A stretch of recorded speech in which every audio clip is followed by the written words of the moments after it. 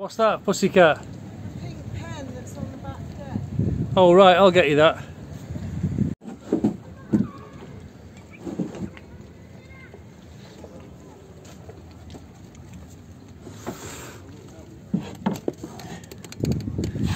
Are you starting on that side? No, I'm starting on this side. We've got to rip all these fucking screws out, or if you can pass a hammer up, maybe I'll bash them in. Oh. Oh, God, this is a nightmare. I'll, I'll pass the hammer up, darling. No, that's not going to work. Um, they're protruding so far out. Yes. Can I be of assistance? How do I reverse this thing? See the black, the black um, Right. circle in front of the yellow bit? Just change gear with that. That's it, and then it'll swivel the other way. These are rusted. Oh yes. Oh. Ah. You'll have to pass me the manual one. Okay. If I use a wrench, I'll probably take half the roof up. This is really not the time to be filming.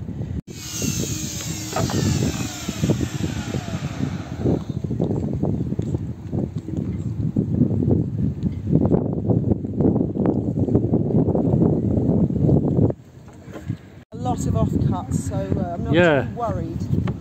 It's very windy. I hope we can hear you. Okay. Not quite I'm long. about my board sliding away at the moment. Not quite long enough. Oh. Okay, darling, you've done half the roof already. half the pieces are in place. They're going to have to go up and come down and go up and come down several times for various treatments and cutting and stuff. I'm going to mark it in a minute.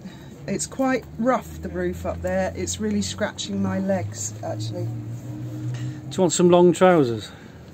It's too hot. And I thought about putting a sheet up there. It's it's just really strong fiberglass. Yeah, you need you need to paint some something on them, don't you? On the on the downside, Yeah. they need to be treated with But I'm not doing that until I've cut them right. and got them the right shape and they're all in position.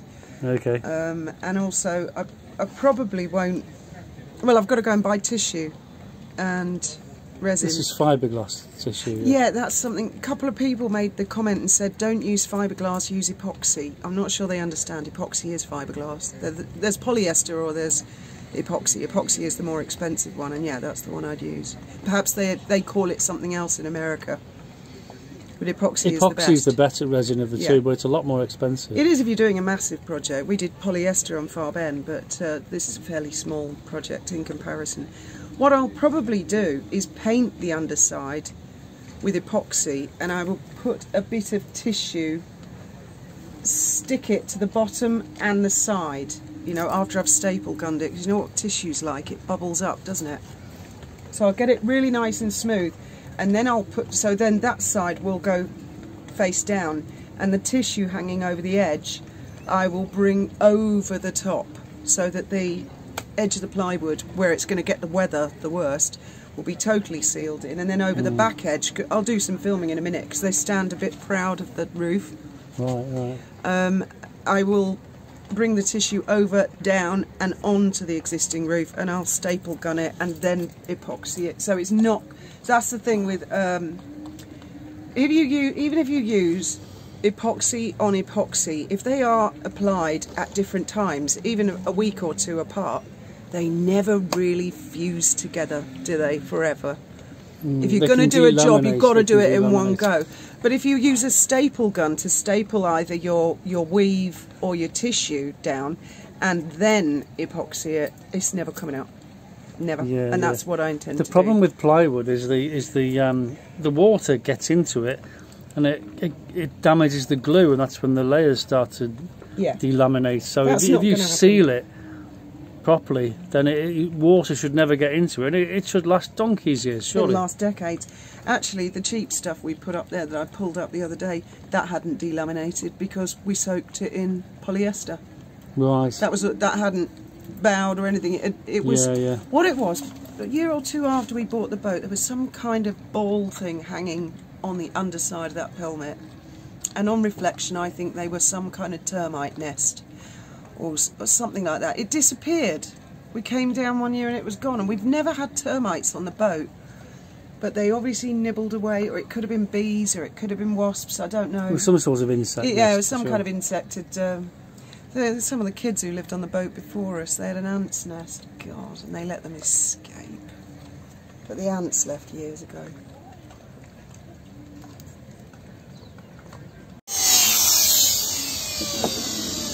How's it going, darling? Very well. Very well. It's, it's psychological as well. I feel a lot safer up here now.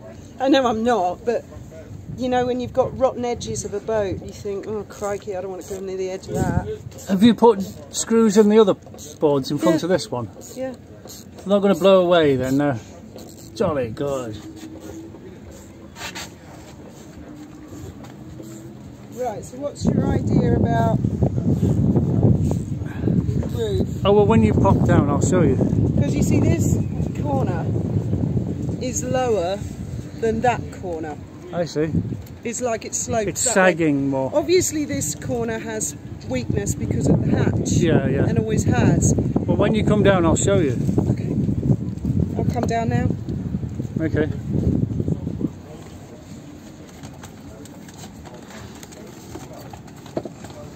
Right, well, you see these cracks? Let me just move this door. Yeah. You see where this was? Yeah. I mean, that that's jacked up quite a bit. Yeah. That's how it's come apart. But yeah. we could put that offcuts of the thick plywood here and screw it in if that's I don't know It's how not really substantial. Because that could add support to both sides because the other side They're fairly pathetic, those things. No, what I need is this post. Um, is it's bent. you can see it's bent. I mean it's going to bend. It's not really that strong is it? No, I suppose I could just force the plywood with a screw. The ply whereas I could I could screw in um, some support there from from your offcuts. I'll see how I get on up there. it's just a theory. It's just a wheeze you know? I don't always, take any woodwork advice from me. I always knew piece number six was going to be difficult.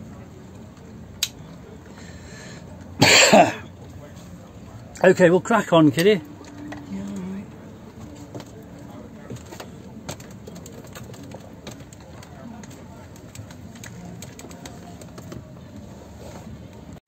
What are you doing that for, Fiona? Just to seal it so that rainwater won't, well, rain won't, water won't get near this. I'm only doing a thin coat because it'll dry, it'll set like nobody's business in this weather. Because if rain soaks into the boards, it delaminates the glue, doesn't it? It messes with the glue. That's right.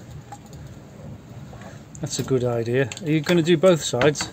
Um, well, the underside is very important and the sides, and then I'll screw it back up. Probably not. I don't think I've got enough yacht varnish because I'll put them back on one at a time, and then I'll have to take them off again one at a time once I've got the epoxy.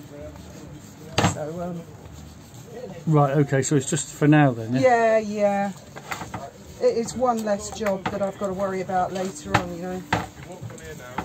Okay, okay. You get that roller moving. Fiona, make sure you do the sides I've done them. because that's, that's where it splits from. Yeah, yeah, you're absolutely right. It's uh, going to have epoxy on it as well, but I can't see it hurts doing this. You can. Thank you for the advice. That's no, I'm seriously. Thank you. Hold on, darling. Right, I'll put that in a carrier bag. To, So to pass the board back up to you? Or just let it dry I'm first? going to let it dry. How long do you reckon it'll take to dry? Ten minutes. It's I'll put it on the 30 degrees outside, so the sun. and breezy. Won't take long at all. But then I want to put that bit back up because I need the other bits to line them up for the holes. If you see what I mean. Yes, I'll of take the next bit off Right, and okay. work my way round.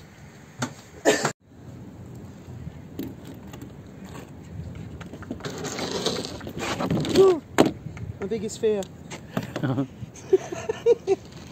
it's really cool that little screwdriver you got. Well, I'm glad it works.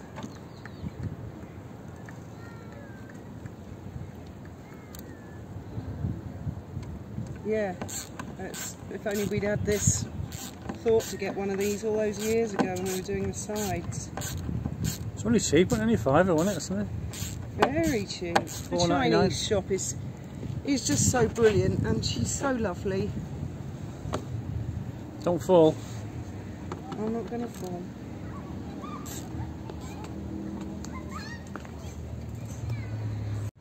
Okay, here we go. So I'm going to try and climb the ladder and hold the phone at the same time. I have got a well-earned vino, if I do say so myself. Right. I'll just just got to get up here actually without falling off.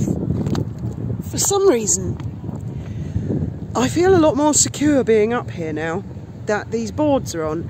And what I did was I screwed them all together, dogged up quite tight to each other with just a few pilot screws. And then I unscrewed them one at a time. I marked them with a felt tip underneath the line where we need to cut. And I took them down one at a time, passed them to Graham, who has been astonishingly helpful today. I can't thank him enough. It's been real teamwork. I've done all the stuff up on the roof and then he's been passing the pieces up to me and down and um, then I would make the line more perfect and he's been doing the cuts with the jigsaw. I was happy to do the cuts. I started doing the first cut and he went, stop, I'm doing the cut. So I don't know what he's trying to say about my jigsawing skills. I always thought I was quite good with a jigsaw. All right, it was a little bit more wobbly than Graham's. Graham's are like perfect. Uh, and then once they were cut, I did them with, uh, found a tin of yacht varnish that Benji had left over from when he was doing his cabin. The perfect amount. Uh, really good uh, yacht varnish. So I varnished them underneath and around all the sides, one at a time, let it, it dry, more or less, and put it back up, screwed it up with its pilot holes, and then the same with the next one and the next one. There are six pieces in total, and then once I got them all up, they're the right shape, they've just got their pilot holes in, then I um, used the last of the varnish to do a yacht varnish over the top to stop the waters. And the thing is, although it's not probably not going to rain, um, what is um, happening is there's a bit, big fire going on over in um, uh, Punta Carnero, from what I can see. That's, that's where my bosses live. Um, anyway, um, I forgot what I was going to say. I'll show you the wood and then you can see for yourself what it's like. So there's still a bit to go. Here we go. They weren't quite enough to go right to the end there, but that corner piece there, God, I hope this is strong enough to stand on. That bit there is actually pretty solid. I've checked that and the back is all nice and solid. It's literally the sacrificial thing that rotted away on the corner. The actual structure is good. So we've got all these pieces of wood up now on this side, which was the worst side. And then we've got, again, wasn't quite long enough to go to the back, but I'm going to do some long pieces. A long piece and another long piece. Um, and we've got this side done as well. So that's much better. I'm not going to walk on it yet. I mean, it will be strong enough and safe enough to walk on. But what I've got to do next, tomorrow, is have a good look at each piece. Well, unscrew each piece, pull it back and mark where the spars are so that when I drill the ultimate screw holes um, I know where they are. Apart from that I've also then got to go to the outside of the boat which is a little bit more tricky and look up and see if it needs packing or anything underneath to get each piece level because I want all three of the pieces level. Once they're all secure and level I'm then going to put ready made, ready mixed grout, bathroom tile grout. In my experience, I have plastered all the walls in my house with it and it's never come off. It sets as hard as a rock. I've used a ton of it on this boat in places you wouldn't imagine and it sets as hard as a rock and it's totally waterproof. So I'm going to put filler between each of the joins and around uh, along here. Um, I probably won't do that till Monday because the other thing I've got to do is buy the tissue um, which it, it literally looks like tissue paper but it's very strong and I'm going to take each piece off and attach and fiberglass it on the underside, the edge and bring it over the top so that the edges, the, all the leading edges are totally protected from the weather. Um, and then when they go back down I will then uh, epoxy the tops but the filler will go in before that. So they're all dead level and it's all dead smooth. And finally, when I, I am going to do the whole roof actually because these pieces of marine ply are extremely high grade, very good quality, and I don't think expensive at all. Um, nowhere near as expensive as, as some of the really rubbish stuff in the store in Leroy Merlin. So I'm going to get the rest of it from Madrid. Um, and I'm figuring I'm going to need about 18 pieces, including these six. I think about 18 pieces will do it. And the next job I'll do is I will go along the front and then I will work my way back. Um, and, and really I want to strengthen it and I'll be using longer screws to uh, secure other stuff down. So it will be one, the roof will be one complete unit, so I may well order the epoxy tissue and resin in one order actually, because it's quite a large area. And then once I've got the whole roof finished, I will get some more epoxy and I will get what's known as pigment. Uh, you put a little bit of white pigment in it and it turns it from clear to, to white, like white paint, and I will finish the whole roof off with white paint. And then what we want to do ultimately is put a railing all the way around, um, a solid railing made of much thinner ply and frame so that we can use this area up here because it's a really cool area. I have to say, I can't wait to see the back of this fucking windmill. I've, this thing has been banging me on the head all day and he ties it off see? because if he doesn't, it goes all night long. We got it out the bins and it's never worked. It's never been connected. It's never done anything. I think I'm going to take it to the house.